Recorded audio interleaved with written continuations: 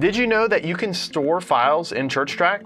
So whether it's Word docs, MP3 files, PDFs, and all other sorts of file types, we've got you covered. So let me show you how to use it.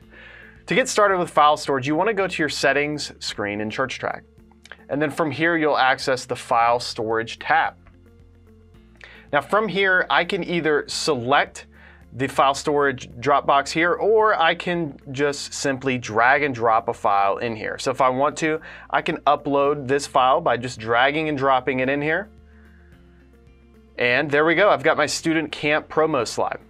Now, whenever you upload files to file storage, you have the option to edit your files and rename them, things like that. So to do that, you just select the file. So for example, I have this James Sermon Series booklet. I can select that file and from here, I can change the file name if I want. I can put a description for the particular file, and I can say this is this is our, I gotta be able to learn how to type first. This is our booklet for the upcoming series and it tells me how large the file is, and I can move it to another folder from here. I can download the file, and you can also make files shareable, which I think a lot of situations are gonna happen where you want to share a file, and then you can actually take this URL that we generate for you, and then you can put that in an email, put it in a text message, or however you want to share a file. So if it's some sort of file that you need to get to your entire church, you can easily do that by just making it shareable.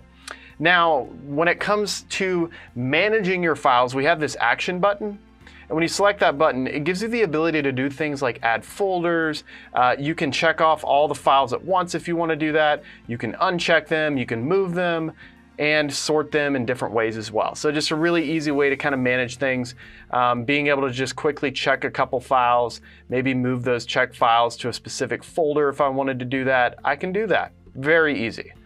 So that is how you use the actions button. Now, one more thing I do want to point out before we jump over to managing user permissions is that you have access to all these different files that are stored in ChurchTrac beyond just your general file storage, but you can quickly look at any files that are in gallery cards that are on your worship screen, on your accounting screen. It'll actually show all these files just so it gives you the ability to maybe kind of occasionally diagnose to see like do you have a lot of files that maybe you don't need any longer? I like this a lot just because i can quickly browse through some of the files in my worship screen and from here see that I, maybe i have certain songs that have got too much information on here and i want to kind of eliminate some files so you can do that too.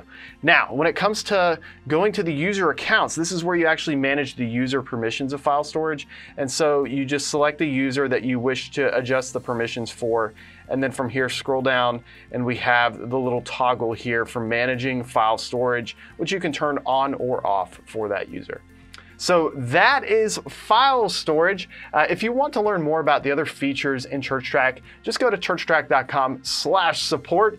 Uh, you can easily search our entire user guide to find all of the answers that you are looking for in seconds. And be sure to check out our YouTube channel. It is filled with over 150 different videos, everything from how to manage file storage to being able to use accounting and so much more. Well, I have got some files to upload. See you next time.